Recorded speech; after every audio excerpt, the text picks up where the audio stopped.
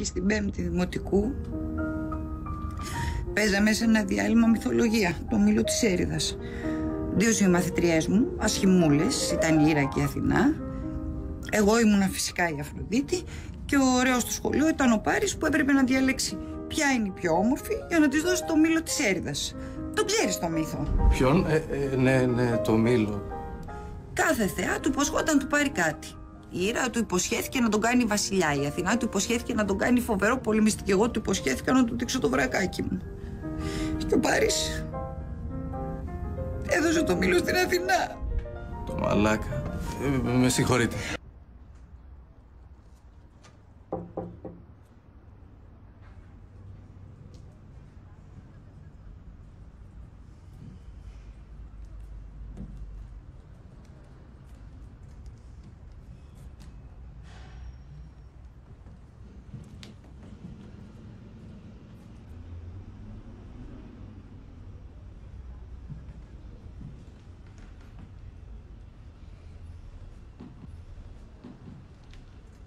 Καλημέρα.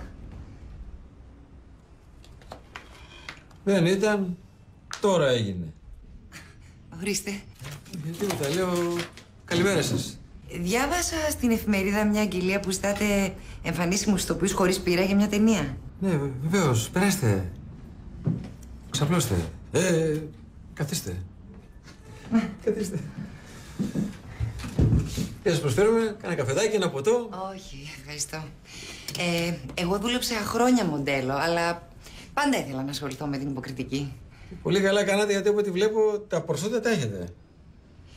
Θα ήθελα να μάθω κάποιες λεπτομέρειες για την ταινία. Βεβαίως. Κοιτάξτε, δέσμη μου, πρόκειται για μια διεθνή υπερπαραγωγή. Σουηδία, Ουκρανία, Ελλάδα. Σουηδία, Ουκρανία και Ελλάδα. Πέφτει πολύ δολάριο. Μιλάμε για γυρίσματα με τη Λίνη, Βενεζουέλα και στο σπίτι μου στο Κάλαμο, στο εξοχικό. Ακούγεται πολύ ενδιαφέρον. Ο, ο σκηνοθέτης ποιος είναι, ε; Εγώ, εγώ, συγγνώμη, ξέχασα να στηθώ. Ντένις Βίλιαμ. Μάλιστα. Συγγνώμη κιόλας που ρωτάω, αλλά έλειπα καιρό στο εξωτερικό. Ε, έχετε κάνει κι άλλες ταινίες; Κι άλλες, πολλές, πάρα πολλές. Από τους πιο παλιούς στη δουλειά. Χρόνια στο κουρμπέτι της ποινής μου. Το τεμπούτο μου το έκανα με την ταινία που άφησε εποχή Καμπίνα 69. Δεν την έχω δει. Βέβαια, μετά έκανα κι άλλες πολλές ταινίες. Τώρα πια να πρωτοθυμηθώ. Την ξένια στην Καβαλάρισα, ο Αράπης άργησε μια μέρα. Αλλά αυτή που έκανε μεγάλο πάταγο και πιο πρόσφατη ήταν ε, πόδια ερμητικά κλειστά.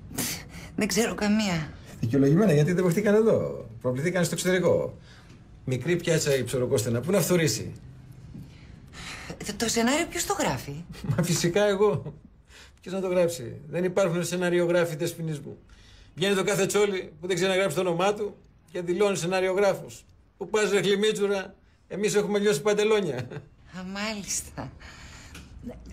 Ε, έχουν κλείσει άλλοι ηθοποιοί; Βεβαίως. Πολύ, πάρα πολύ. Κυρίως ξένοι. Σουηδοί και Ουκρανοί. Και ένας Λιβανέζος. Διεθνές κάστ. Αλλά μου λέει η πρωταγωνίστρια. Παραγωγός ποιος είναι; Εγώ. Ποιος είναι τη μου. Γιατί μήπως υπάρχουν παραγωγή; Βγαίνει ο κάθε γύφτουλας που λέγε λεμόνια στη λαϊκή, τσιμπάει τις επιχορηγήσεις και κάνει τον παραγωγό. Που πάρε καραγκιόζη ξυπούλτου στα κούρια. Συγγνώμη, δηλαδή είστε σεναριογράφος, σκηνοθέτης, παραγωγός. Φαντάζομαι και σκηνογράφος και ενδυματολόγος. Όχι, επειδή μου αρέσει εμένα να λέω την αλήθεια, ενδυματολόγος δεν υπάρχει. Φοράνε οι ηθοποιοί τα δικά τους. Και τα δικά τους, αλλά θα πούμε σε λεπτομέρειες, θα πούμε. Αυτό τώρα που έχω να σας πω είναι ότι δηλαδή, όσο πιο πολύ σας παρατηρώ, βλέπω ότι στο πρόσωπό σας βρήκα την πρωταγωνίστρια που με ενδιαφέρει. Ε, Συγγνώμη, ε, να μιλήσουμε και το οικονομικό βέβαια. Χωρίς να θέλω να σας προσβάλλω. Πόσο πάει το μάλι; Μισό λεπτό. Θα ήθελα να διαβάσω το σενάριο πρώτα. Το σενάριο, ποιο σενάριο; Δεν υπάρχει σενάριο. Κοιτάξτε, οι δικές μου ταινίες βασίζονται κυρίως στον αυτοσχεδιασμό. Το story σε γενικές γραμμές; Το στέλνω είναι πάρα πολύ απλό. Είναι πάρα πολύ απλό. Υπάρχει η πρωταγωνίστρια, η οποία φυσικά θα είσαι εσύ, η οποία είναι θεογκόμενα. Μιλάμε θεά και έχει παντρευτεί ένα πλούσιο, ένα μεγιστάνα. Τον οποίο τον παίζω εγώ. Γιατί, ναι, είμαι και ηθοποιό, παίζω κιόλας. Βέβαια. Γιατί μήπως υπάρχουν ηθοποιοί που σήμερα να έχουν βγει κάτι παιδάκια τώρα εκεί τα τσουτσέκια, τι να κάνουν. και άμα βρω κανένα καλό ρόλο, τον. ε, Λοιπόν, αυτός όμως ο Μεγιστάνας έχει χάσει όλη την περιουσία στο χρηματιστήριο. Διότι δεσποινή μου δεν σας κρύβω ότι πέρα από τον οικονομικό τομέα μου αρέσει να περνάω και κοινωνικά μηνύματα. Με προσέχεις εδώ. Ναι, συνεχίστε. Αυτός λοιπόν ο πλούσιος βρίσκεται σε απόγνωση. Τι να κάνει; Μετά από μια έντονη εσωτερική πάλι, να φανταστείς έχω βάλει πέντε σκηνές εσωτερικής πάλι. Δύο στη σάουνα, τρεις στο γιαγκούζι και άμα χρειαστεί μπορεί να βάλω και έκτη σε πισίνα μέσα. Θα δω αναλόγως πώς θα με πάρουν τα γυρίσματα. Μετά από μια εσωτερική πάλι λοιπόν, του λέει η γυναίκα του, δηλαδή εσύ. Μη στεναχωριέσαι, Ερίκο.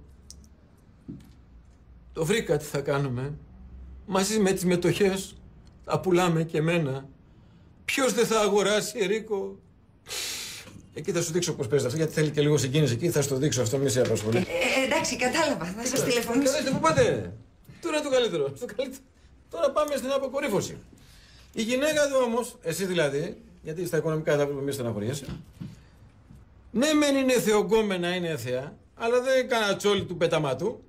Και αρχίζει να προβληματίζεται. Σου λέει, πού το πάει αυτό. Ώσπου μπαίνει στη ζωή τη ο Λιβανέζο. Τον οποίο το κάνω εγώ. Κάνω πολύ καλό Λιβανέζο. Σου κάνω. Κατάλαβα. Τι κατάλαβα. Μη συνεχίζετε. Πού πάτε σπίτι μου; Κάτσε, πού πας; Γεια σας. Κάτσε, πού πας, ρε κοπέλα μου, τι έγινε, τι σε χάλασε ο Λιβανέζος; Να τον βγάλουμε τον Λιβανέζο. Δεσποινής, τέτοια ευκαιρία δεν ξαναβρει δεσποινής μου. Άι, εσύ χτύρι ψωνάρα, τι ήθελες να παίξεις, Λέδι Άμλετ;